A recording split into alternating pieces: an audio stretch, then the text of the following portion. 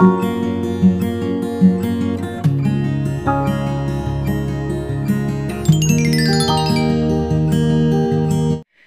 friends welcome to rose petals P S C coaching class ഇന്ന് നമ്മൾ ചെയ്യാൻ പോകുന്നത് സാമ്പത്തിക ശാസ്ത്രമാണ്. രണ്ട് പാർട്ടായിട്ടായിരിക്കും സാമ്പത്തിക ശാസ്ത്രം ക്ലാസ് നൽകുക. എല്ലാവരും നല്ലതുപോലെ ക്ലാസ് കേട്ടതിനു ശേഷം നോട്ടൊക്കെ പ്രിപ്പയർ ചെയ്യുക. നല്ലതുപോലെ പഠിക്കുക.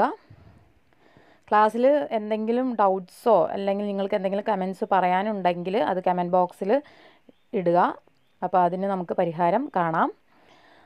പിന്നെ നമ്മൾ കഴിഞ്ഞ ആഴ്ച ഇട്ടിട്ടുള്ള രണ്ട് കറണ്ട് അഫെയറിന്റെ ക്ലാസ് അതിന്റെ ടെസ്റ്റ് ഫ്രൈഡേ അതായത് നാലാം തീയതി വൈകിട്ട് സെവൻ തേർട്ടിക്ക് ഞാൻ കുറച്ച് ക്വസ്റ്റ്യൻസ് ഇടുന്നതായിരിക്കും.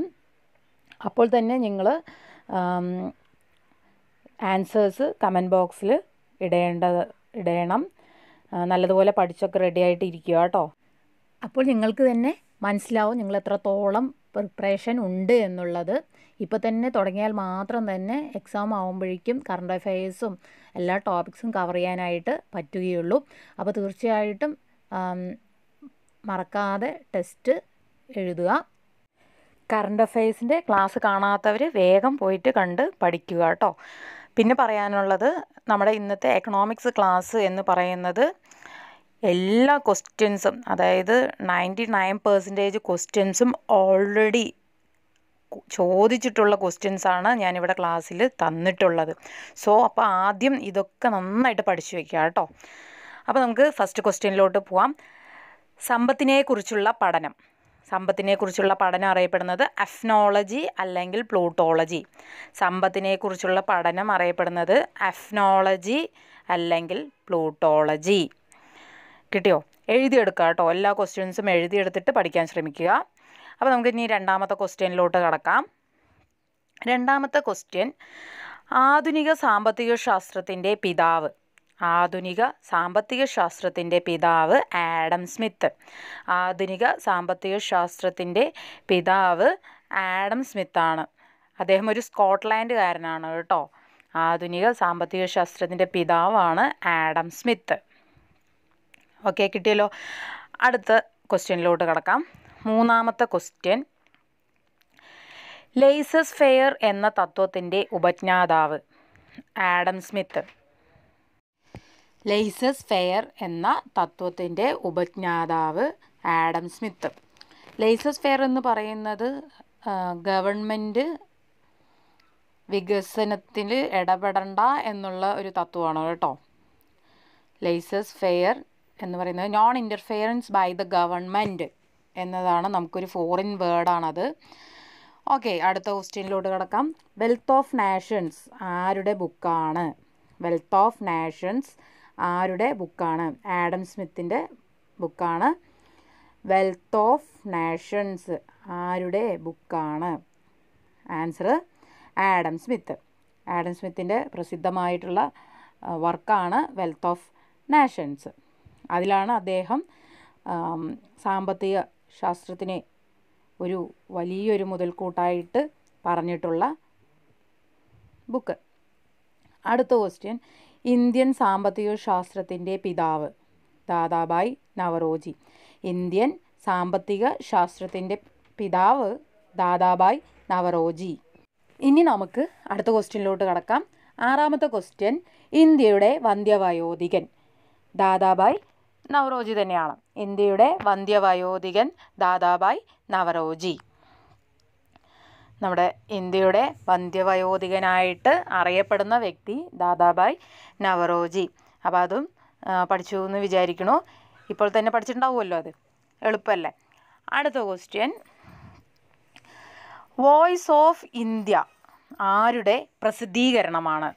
ദാദാബായ് നവറോജിയുടെ പ്രസിദ്ധീകരണമാണ്. Voice of India voice of India ആരുടെ പ്രസിദ്ധീകരണമാണ്? ദാദാബായ് നവറോജിയുടെ. ഇനി അടുത്ത ക്വസ്റ്റ്യൻ എട്ടാമത്തെ. റസ്ത് ഗുഫ്താർ ആരുടെ മാസികയാണ്? ദാദാബായ് നവറോജിയുടെ മാസികയാണ്. റസ്ത് ഗുഫ്താർ ആരുടെ മാസികയാണ്? ദാദാബായ് നവറോജി. പ്രത്യേകം ശ്രദ്ധിക്കുക. ഇതിൽ ഞാൻ നൽകിയിട്ടുള്ള ഓൾമോസ്റ്റ് എല്ലാ ക്വസ്റ്റ്യൻസും പല ക്വസ്റ്റ്യൻ പേപ്പറിലായിട്ട് പി എസ് സി ചോദിച്ചിട്ടുള്ളത് മാത്രമാണ് ഞാനിവിടെ നൽകിയിട്ടുള്ളത്. അതുകൊണ്ട് എല്ലാവരും നല്ലതുപോലെ ശ്രദ്ധിച്ച് പഠിക്കുക. പ്രീവിയസ് ക്വസ്റ്റ്യൻസ് എപ്പോഴും പി എസ് സിയുടെ പ്രിയപ്പെട്ട ക്വസ്റ്റ്യൻസ് തന്നെയാണ്. അടുത്ത ക്വസ്റ്റ്യൻ ഇന്ത്യയുടെ ഗ്ലാഡ് സ്റ്റോൺ എന്നറിയപ്പെടുന്ന വ്യക്തി ആരാണ്? ദാദാബായ് നവറോജിയാണ് ഇന്ത്യയുടെ ഗ്ലാഡ് സ്റ്റോൺ എന്നറിയപ്പെടുന്ന വ്യക്തി ദാദാബായ് നവറോജി എന്തുകൊണ്ടാണ് ഗ്ലാഡ് സ്റ്റോൺ എന്ന് ചോദിച്ചിട്ടുണ്ടെങ്കിൽ ബ്രിട്ടന്റെ വന്ധ്യവയോധികൻ ഗ്ലാഡ് സ്റ്റോൺ എന്ന വ്യക്തിയാണ്. അതുകൊണ്ടാണ് നമ്മുടെ വന്ധ്യവയോധികനായ ദാദാബായ് നൗറോജിയെ ഇന്ത്യയുടെ ഗ്ലാഡ് സ്റ്റോൺ എന്ന് വിശേഷിപ്പിക്കുന്നത്. അപ്പോൾ ഇന്ത്യയുടെ ഗ്ലാഡ് സ്റ്റോൺ ആരാണ്? ദാദാബായ് നവറോജി അപ്പോൾ ഇനി അടുത്ത ക്വസ്റ്റ്യനിലോട്ട് പോവാം മനസ്സിലാവുന്നുണ്ടെന്ന് വിശ്വസിക്കുന്നു ക്വസ്റ്റ്യൻസൊക്കെ പത്താമത്തെ ക്വസ്റ്റ്യൻ ഇന്ത്യയിൽ ദേശീയ വരുമാനം ആദ്യമായി കണക്കാക്കിയ വ്യക്തി. ദാദാബായ് നവറോജി ഇന്ത്യയിൽ ദേശീയ വരുമാനം ആദ്യമായി കണക്കാക്കിയത് ദാദാബായ് നവറോജി. ഇന്ത്യയിൽ ദേശീയ വരുമാനം ആദ്യമായി കണക്കാക്കിയത് ദാദാബായ് നവറോജിയാണ്. നമ്മുടെ ഇന്ത്യയുടെ സാമ്പത്തിക ശാസ്ത്രത്തിന്റെ പിതാവ് തന്നെയാണ് ഇന്ത്യയിൽ ആദ്യമായിട്ട് ദേശീയ വരുമാനം കണക്കാക്കിയിട്ടുള്ളത്. ദേശീയ വരുമാനം പറഞ്ഞാൽ എന്താണെന്ന് അറിയുമെന്ന് വിശ്വസിക്കുന്നു. ഞാൻ അതിലോട്ടൊന്നും കടക്കുന്നില്ല. നമുക്ക് പി എസ് സിക്ക് വേണ്ട ക്വസ്റ്റ്യൻസിലോട്ട് മാത്രമാണ് പോകുന്നത്. അടുത്ത ക്വസ്റ്റ്യനിലോട്ട് പോവാം. ദാദാബായ് നവറോജി ദേശീയ വരുമാനം കണക്കാക്കുന്ന രീതിയും മസ്തിഷ്ക ചോർച്ചാ സിദ്ധാന്തം അതായത് ബ്രെയിൻ ഡ്രെയിൻ തിയറി അതും പരാമർശിച്ചിട്ടുള്ള ബുക്ക്. ഇതും ചോദിച്ചിട്ടുള്ളതാണ്. ഇതുപോലെ തന്നെ ചോദിച്ചിട്ടുള്ളതാണ്.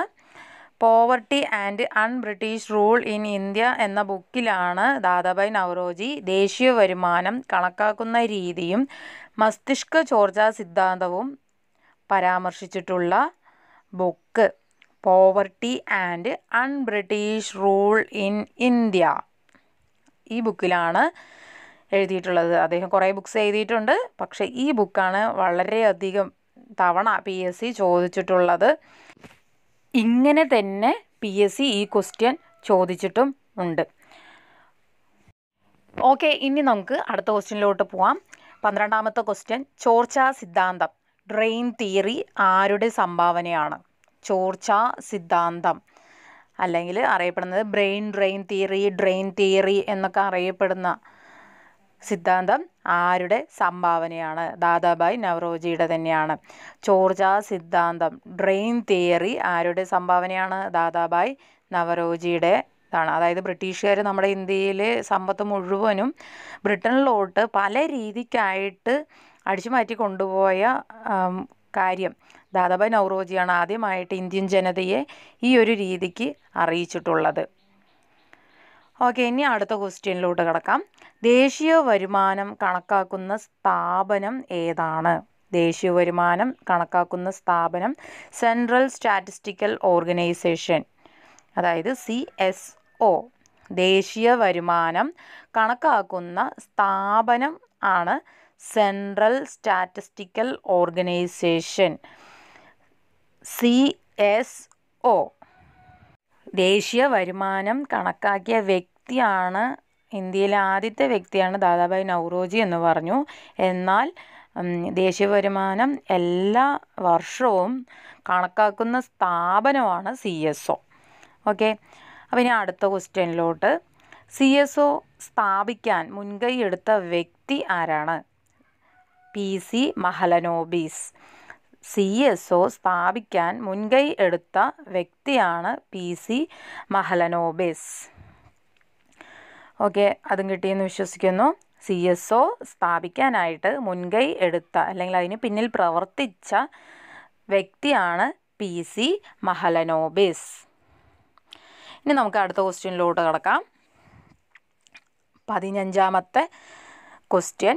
സി എസ് ഒയുടെ ആസ്ഥാനം എവിടെയാണ്? ന്യൂഡൽഹി. സി എസ് ഒയുടെ ആസ്ഥാനം എവിടെയാണ്? ന്യൂഡൽഹി. ന്യൂഡൽഹിയിലാണ് സി എസ് ഒയുടെ ആസ്ഥാനം. അതായത് ഹെഡ് ക്വാർട്ടേഴ്സ് പല സ്ഥാപനങ്ങളുടെയും ഹെഡ് ക്വാർട്ടേഴ്സ് ചോദിക്കാറുണ്ട് എവിടെയാണ് എന്നുള്ളത് അപ്പോൾ സി എസ് ഒയുടെ ആസ്ഥാനമാണെങ്കിൽ അത് ന്യൂഡൽഹിയിലാണ് കേട്ടോ. അപ്പോൾ ചിലപ്പോൾ നമ്മൾ എന്താണ് സാമ്പത്തിക ശാസ്ത്രമായിട്ട് ബന്ധപ്പെട്ടതായതുകൊണ്ട് മുംബൈയിലോട്ടായിരിക്കും നമ്മുടെ മനസ്സ് പോവുക. ഫസ്റ്റ് ഓപ്ഷനും മുംബൈയും തന്നെ ആയിരിക്കും. അപ്പോൾ സി എസ് ഒയുടെ ആസ്ഥാനം ന്യൂഡൽഹി ആണെന്ന് പഠിച്ചു വയ്ക്കുക അടുത്ത ക്വസ്റ്റ്യൻ സി എസ് ഒയുടെ ഔദ്യോഗിക ബുള്ളറ്റിൻ ഏതാണ്? ധവള പത്രം.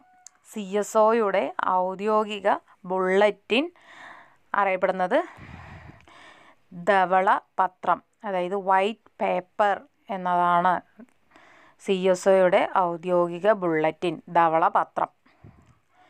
അടുത്ത ക്വസ്റ്റ്യൻ ഇന്ത്യൻ സ്റ്റാറ്റിസ്റ്റിക്കൽ ഇൻസ്റ്റിറ്റ്യൂട്ട് എവിടെയാണ് സ്ഥിതി ചെയ്യുന്നത്? കൊൽക്കത്ത. ഇന്ത്യൻ സ്റ്റാറ്റിസ്റ്റിക്കൽ ഇൻസ്റ്റിറ്റ്യൂട്ട് എവിടെയാണ് സ്ഥിതി ചെയ്യുന്നത്? കൊൽക്കത്തയിലാണ് സ്ഥിതി ചെയ്യുന്നത്. ഐ എസ് ഐ എന്ന് പറയുന്നത് കേട്ടോ ഇന്ത്യൻ സ്റ്റാറ്റിസ്റ്റിക്കൽ ഇൻസ്റ്റിറ്റ്യൂട്ട് സ്ഥിതി ചെയ്യുന്നത് കൊൽക്കത്തയിലാണ്. ഇനി അടുത്ത ക്വസ്റ്റ്യൻ. ഇന്ത്യൻ സ്റ്റാറ്റിസ്റ്റിക്കൽ ഇൻസ്റ്റിറ്റ്യൂട്ട് സ്ഥാപിച്ചത് ആരാണ്? മഹലനോബിസ് ഇന്ത്യൻ സ്റ്റാറ്റിസ്റ്റിക്കൽ ഇൻസ്റ്റിറ്റ്യൂട്ട് സ്ഥാപിച്ചത് പി സി മഹൽനോബിസ് തന്നെയാണ്. അദ്ദേഹമാണ് ഇതിന് പിന്നിൽ ഈ ഒരു ഇൻസ്റ്റിറ്റ്യൂട്ട് ഇന്ത്യൻ സ്റ്റാറ്റിസ്റ്റിക്കൽ ഇൻസ്റ്റിറ്റ്യൂട്ട് വരുന്നതിന് വേണ്ടിയിട്ട് പ്രവർത്തിച്ച വ്യക്തി എന്ന് ചോദിക്കുവാണെങ്കിലും പി സി മഹലനോബിസ് തന്നെയാണ്. ഇനി നമുക്ക് അടുത്ത ക്വസ്റ്റ്യൻ പത്തൊൻപതാമത്തെ ക്വസ്റ്റ്യൻ ആണ് ഇനി ചോദിക്കാൻ പോകുന്നത്. ഇന്ത്യൻ സ്റ്റാറ്റിസ്റ്റിക് ഡേ അല്ലെങ്കിൽ ഇന്ത്യൻ സ്റ്റാറ്റിസ്റ്റിക്സ് ദിനമായിട്ട് ആചരിക്കുന്നത് ജൂൺ ഇരുപത്തി ഒൻപത്.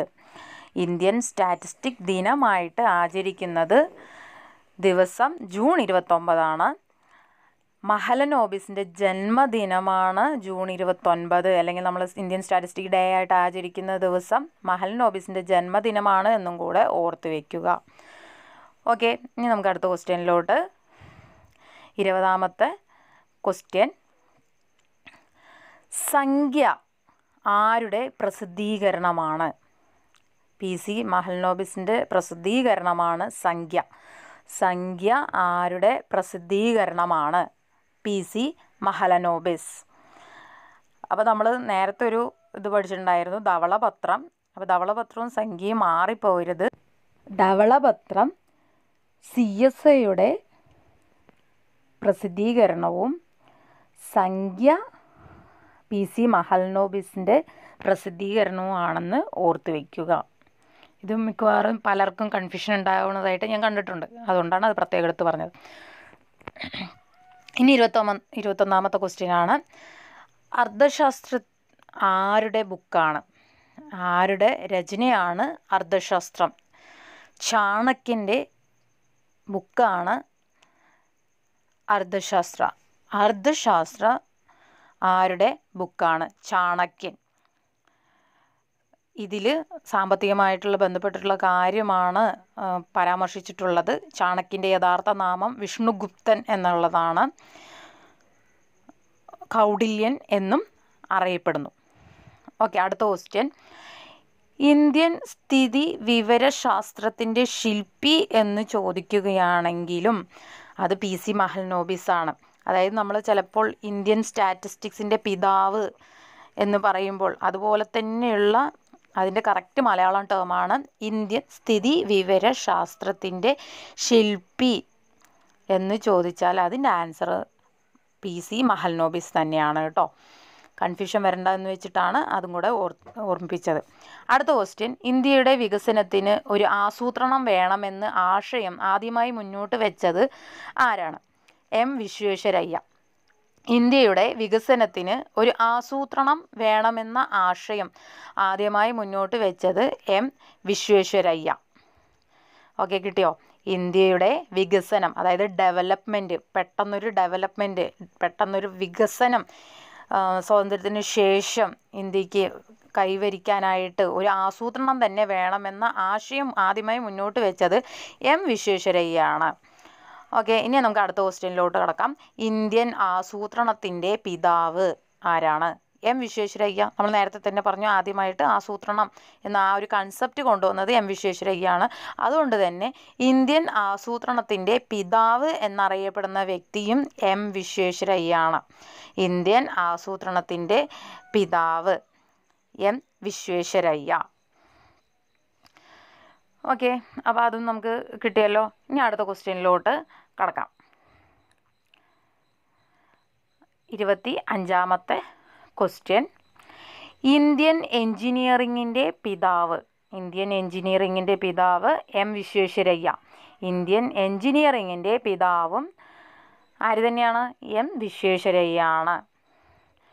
ഓക്കെ അപ്പോൾ നമ്മൾ ഓർത്ത് വെച്ചാൽ മതി. അതായത് പ്ലാനിങ് ചെയ്യുന്നതൊക്കെ എൻജിനീയർ അല്ലേ അപ്പോൾ പ്ലാനിങ്ങിന്റെയും എൻജിനീയറിങ്ങിന്റെയും പിതാവ് അല്ലെങ്കിൽ ശില്പി എന്നൊക്കെ പറഞ്ഞാൽ എം വിശ്വേശ്വരയ്യ തന്നെയാണെന്ന് ഓർത്ത് വെച്ചാൽ മതി.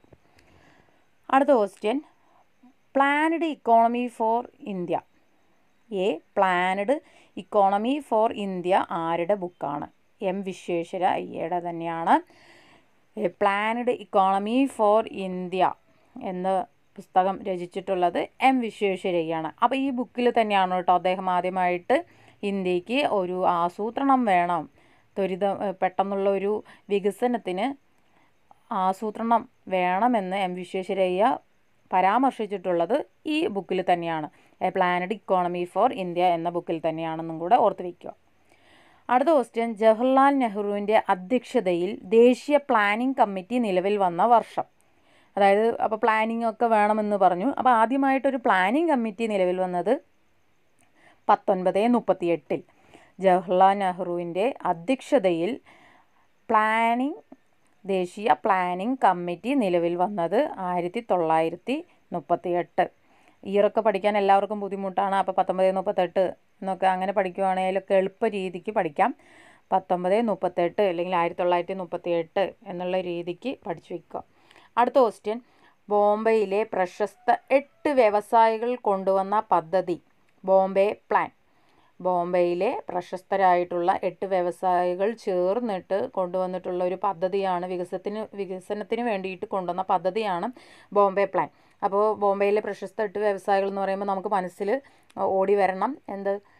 ഇപ്പോഴും പ്രശസ്തരായിട്ടുള്ള വലിയ വലിയ വ്യവസായികൾ അതായത് ടാറ്റ ബിർള എന്നിവരൊക്കെയാണ് ആ എട്ട് വ്യവസായികളിൽ ഉൾപ്പെട്ടിട്ടുള്ള വ്യക്തികൾ. ഓക്കെ.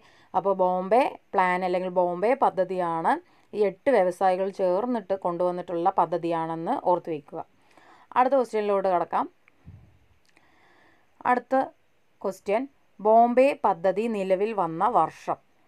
ആയിരത്തി തൊള്ളായിരത്തി നാൽപ്പത്തി നാല് ബോംബെ പദ്ധതി നിലവിൽ വന്ന വർഷമാണ് ആയിരത്തി തൊള്ളായിരത്തി നാൽപ്പത്തി നാലിൽ ഓക്കെ. കിട്ടിയെന്ന് വിചാരിക്കണു? ഇനി നമുക്ക് അടുത്ത ക്വസ്റ്റ്യനിലോട്ട് കടക്കാം. ബോംബെ പദ്ധതിയുടെ അല്ലെങ്കിൽ ബോംബെ പ്ലാന്റെ അധ്യക്ഷൻ ലീഡർ എന്നൊക്കെ പറയുന്ന വ്യക്തി അർദേശിർ ദലാൽ. ഞാൻ നേരത്തെ അതിൽ പ്രമുഖരായിട്ടുള്ള വ്യവസായികളെ പറഞ്ഞു ടാറ്റ ബിർള എന്നൊക്കെ. എന്നാൽ അവരൊന്നുമല്ല ഇതിന്റെ അധ്യക്ഷനായിട്ടുണ്ടായിരുന്നത്. ബോംബെ പദ്ധതിയുടെ അധ്യക്ഷൻ അർദേശിർ ദലാൽ. ബോംബെ പദ്ധതിയുടെ അധ്യക്ഷൻ അർദേഷിർ ദലാൽ. ഓക്കെ? അപ്പോൾ ബോംബെ പ്ലാന്റെ അധ്യക്ഷനാണ് അല്ലെങ്കിൽ ലീഡർ എന്നൊക്കെ ചോദിക്കുവാണെങ്കിൽ അർദേഷിർ ദലാലാണ് കേട്ടോ. ഇനി അടുത്ത ക്വസ്റ്റ്യനിലോട്ട് പോവാം. ബോംബെ പദ്ധതിയുടെ പിന്നിൽ പ്രവർത്തിച്ച മലയാളി ആരാണ്? ജോൺ മത്തായി. ബോംബെ പദ്ധതിയുടെ പിന്നിൽ പ്രവർത്തിച്ച മലയാളി ജോൺ മത്തായി ആണ്. ഓക്കെ കിട്ടിയോ? ബോംബെ പദ്ധതിയുടെ പിന്നിൽ പ്രവർത്തിച്ച മലയാളിയാണ് ജോൺ മത്തായി. നമുക്ക് കുറേ കാര്യങ്ങൾ ജോൺ മത്തായിയുടെ റിലേറ്റഡ് ആയിട്ട് പഠിക്കാനുണ്ട്. സാമ്പത്തിക ശാസ്ത്രമായിട്ട് ബന്ധപ്പെട്ടിട്ട് ഞാൻ ഇത് മാത്രമാണ് പറയുന്നത് കേട്ടോ. ഓക്കെ അടുത്ത ക്വസ്റ്റ്യനിലോട്ട് പോവാം. ഗാന്ധിയൻ പദ്ധതിയുടെ ഉപജ്ഞാതാവ് ആരാണ്? ശ്രീനാരായൺ അഗർവാൾ. ഗാന്ധിയൻ പദ്ധതിയുടെ ഉപജ്ഞാതാവ് ശ്രീനാരായൺ അഗർവാൾ. അപ്പോൾ നമ്മളിപ്പോൾ പറഞ്ഞുകൊണ്ടിരിക്കുന്നതൊക്കെ ആസൂത്രണത്തിന്റെ ഭാഗമായിട്ട് വന്നിട്ടുള്ള പദ്ധതികളാണ്. ഇന്ത്യയുടെ വികസനത്തിനായിട്ട് വന്നിട്ടുള്ള പദ്ധതികളാണ്. പല വ്യക്തികളും മുന്നോട്ട് വെച്ചിട്ടുള്ള പദ്ധതികളാണ് കേട്ടോ.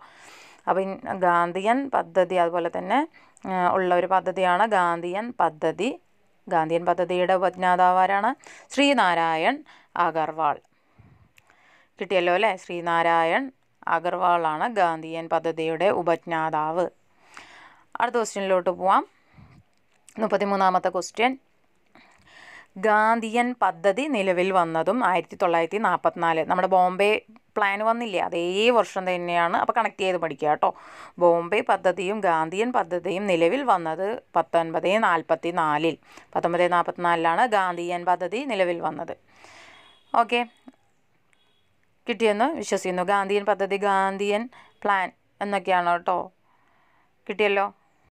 ഓക്കെ ഇനി അടുത്ത ക്വസ്റ്റ്യൻ ഗാന്ധിയൻ സമ്പദ് വ്യവസ്ഥയുടെ ഉപജ്ഞാതാവ് അതായത് ഗാന്ധിയൻ എക്കണോമിക്സ് ഗാന്ധിയൻ സമ്പദ് വ്യവസ്ഥയുടെ ഉപജ്ഞാതാവ് ജെ സി കുമരപ്പ അപ്പോൾ ഗാന്ധിയൻ പദ്ധതിയും ഗാന്ധിയൻ സമ്പദ് വ്യവസ്ഥയും പലർക്കും തിരിഞ്ഞു പോവാറുണ്ട്. അപ്പോൾ ശ്രദ്ധിച്ച് പഠിക്കുക ഇവിടെ ഗാന്ധിയൻ സമ്പദ് വ്യവസ്ഥ ഗാന്ധിയൻ എക്കണോമിക്സിന്റെ ഉപജ്ഞാതാവാണെങ്കിൽ ജെ സി കുമരപ്പയാണ് കേട്ടോ. ഗാന്ധിയൻ സമ്പദ് വ്യവസ്ഥയുടെ ഉപജ്ഞാതാവ് ജെ സി കുമരപ്പ. നേരത്തെ നമ്മൾ പഠിച്ചത് ഗാന്ധിയൻ പദ്ധതിയുടെ ഉപജ്ഞാതാവാണെങ്കിൽ ശ്രീനാരായണ അഗർവാൾ ഗാന്ധിയൻ സമ്പദ് വ്യവസ്ഥയുടെ ഉപജ്ഞാതാവാണെങ്കിൽ ജെ സി കുമരപ്പ. ഓക്കെ മനസ്സിലായല്ലോ? പഠിച്ചു കഴിഞ്ഞില്ലേ? അടുത്ത ക്വസ്റ്റ്യനിലോട്ട് കടക്കാം. മുപ്പത്തഞ്ചാമത്തെ ക്വസ്റ്റ്യൻ ജനകീയാസൂത്രണത്തിന്റെ ഉപജ്ഞാതാവ് ആരാണ്? M N Roy. ജനകീയാസൂത്രണത്തിന്റെ ഉപജ്ഞാതാവ് എം എൻ റോയ്. ജനകീയാസൂത്രണം കൂടുതലും ചോദിക്കുക പീപ്പിൾസ് പ്ലാൻ എന്ന രീതിക്കാണ് കേട്ടോ. പീപ്പിൾസ് പ്ലാൻ അല്ലെങ്കിൽ ജനകീയ ആസൂത്രണം എന്ന് പറയുന്നതിന്റെ ഉപജ്ഞാതാവ് എം എൻ റോയ് അതിന്റെ ലീഡറാണ് എം എൻ റോയ് ജനകീയ ആസൂത്രണം അല്ലെങ്കിൽ പീപ്പിൾസ് പ്ലാൻ ഓക്കെ അടുത്ത ക്വസ്റ്റ്യൻ മുപ്പത്തി ആറാമത്തെ ക്വസ്റ്റ്യനിലോട്ട് കിടക്കാം.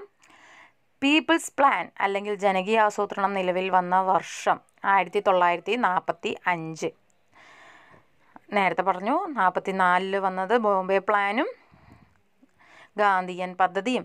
ഇവിടെ പീപ്പിൾസ് പ്ലാൻ അല്ലെങ്കിൽ ജനകീയ ആസൂത്രണം നിലവിൽ വന്ന വർഷം ആയിരത്തി തൊള്ളായിരത്തി നാൽപ്പത്തി അഞ്ച് ഓക്കെ ആയിരത്തി തൊള്ളായിരത്തി നാൽപ്പത്തഞ്ചാണ് ജനകീയ ആസൂത്രണം നിലവിൽ വന്നത്. അടുത്ത ക്വസ്റ്റ്യൻ മുപ്പത്തി ഏഴാമത്തെ സർവോദയ പദ്ധതിയുടെ ഉപജ്ഞാതാവ് ജയപ്രകാശ് നാരായൺ ജെ പി എന്നൊക്കെ അറിയപ്പെടുന്ന സ്വതന്ത്ര സമര സേനാനിയാണ് സർവോദയ പദ്ധതിയുടെ ഉപജ്ഞാതാവ്. സർവോദയ പദ്ധതിയുടെ ഉപജ്ഞാതാവാണ് ജയപ്രകാശ് നാരായൺ. കിട്ടിയല്ലോ? അടുത്ത ക്വസ്റ്റ്യനിലോട്ട് കിടക്കാം. മുപ്പത്തി എട്ടാമത്തെ ക്വസ്റ്റ്യൻ. സർവോദയ പദ്ധതി നിലവിൽ വന്ന വർഷം ആയിരത്തി തൊള്ളായിരത്തി അൻപത് ടൈപ്പ് ചെയ്തതിൽ ഒരു ചെറിയ മിസ്റ്റേക്ക് വന്നിട്ടുണ്ട്. ക്ഷമിക്കുക. സർവോദയ പദ്ധതി നിലവിൽ വന്ന വർഷം ആയിരത്തി തൊള്ളായിരത്തി അൻപതിലാണ് കേട്ടോ. അപ്പോൾ മൂന്നാൽ വർഷം നമ്മളിവിടെ പഠിച്ചിട്ടുണ്ട്. നന്നായിട്ട് ശ്രദ്ധിച്ച് തെറ്റിപ്പോവാതെ പഠിച്ചു പോവുക സർവോദയ പദ്ധതി നിലവിൽ വന്നത് പത്തൊൻപത് അൻപതിൽ. ഓക്കെ ഇനി അടുത്ത ക്വസ്റ്റ്യനിലോട്ട്. പഞ്ചവത്സര പദ്ധതിയുടെ രൂപരേഖ തയ്യാറാക്കുന്നത് ആരാണ്? ആസൂത്രണ കമ്മീഷൻ പ്ലാനിംഗ് കമ്മീഷൻ. പഞ്ചവത്സര പദ്ധതിയുടെ രൂപരേഖ തയ്യാറാക്കുന്നത് ആസൂത്രണ കമ്മീഷൻ. നമ്മുടെ പെട്ടെന്നുള്ള നാടിന്റെ വികസനത്തിന് ഇന്ത്യയുടെ വികസനത്തിന് വേണ്ടിയിട്ടാണ് പഞ്ചവത്സര പദ്ധതി. നമ്മൾ കടം കൊണ്ടിട്ടുള്ളത്. ഓക്കെ പഞ്ചവത്സര പദ്ധതിയുടെ രൂപരേഖ തയ്യാറാക്കുന്നത് ആസൂത്രണ കമ്മീഷൻ. പ്ലാനിംഗ് കമ്മീഷനാണ് പഞ്ചവത്സര പദ്ധതി എങ്ങനെയൊക്കെയാണ് ചെയ്യേണ്ടത്? ആ ഒരു അഞ്ച് വർഷം എന്തൊക്കെ ചെയ്യണം എന്നൊക്കെ തീരുമാനിക്കണ തീരുമാനിക്കുന്നത് ആസൂത്രണ കമ്മീഷനാണ്. ഓക്കെ അടുത്ത ക്വസ്റ്റ്യൻ നാൽപ്പതാമത്തെ ക്വസ്റ്റ്യനാണ് ദേശീയ വികസനത്തിന്റെ ആണിക്കല്ല് എന്നറിയപ്പെടുന്നത്. ആസൂത്രണ കമ്മീഷൻ. ദേശീയ വികസനത്തിന്റെ ആണിക്കല്ല് എന്നറിയപ്പെടുന്നത് ആസൂത്രണ കമ്മീഷനാണ്. പ്ലാനിംഗ് കമ്മീഷനാണ് ദേശീയ വിക വികസനത്തിന്റെ ആണിക്കല്ല് എന്ന് അറിയപ്പെടുന്നത്. ഓക്കെ?